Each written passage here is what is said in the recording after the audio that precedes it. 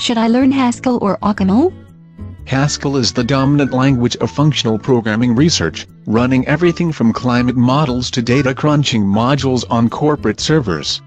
Haskell is primarily managed by a bunch of academics out of Cambridge and the University of Glasgow. There are jokes that if a bus error, also known as crash, kills their top programmers at a conference, the language disappears. It is used more widely than that. And OCaml is primarily controlled by the French National Laboratory, so you can make the same joke for the INRIA group and OCaml. OCaml is open source. OCaml has been nearly abandoned by INRIA, its own creators. It may not be updated much by the main supporters, whereas Haskell is still evolving. OCaml is supposedly easier to learn. Haskell is the paradigm of functional programming.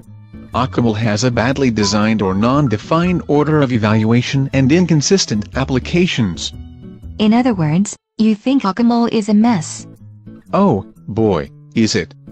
OCaml isn't even consistent as to whether variants should be static or dynamically typed. Haskell syntax is harder to learn. Haskell has more resources to teach it to you, bigger libraries to work from and superior documentation. I heard someone say Haskell is more elegant. You can't have elegant code that doesn't do anything, much less everything you need it to do. Fortunately, if your Haskell code compiles, it probably runs. The question is, which language should I learn? Haskell has been around longer. Which means it is obsolete. In programmer polls, more of them think Haskell will be around for a long time. And given all of Haskell's interfaces and hybrid languages, it works with everything else too. I've heard that OCaml versus Haskell is just a matter of taste. How about functionality?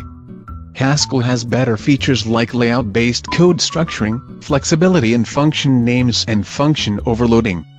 As long as it does not blow up in my face. Haskell is more likely to be relevant on your resume in 10 years, and has several times as many job openings today. Learn Haskell.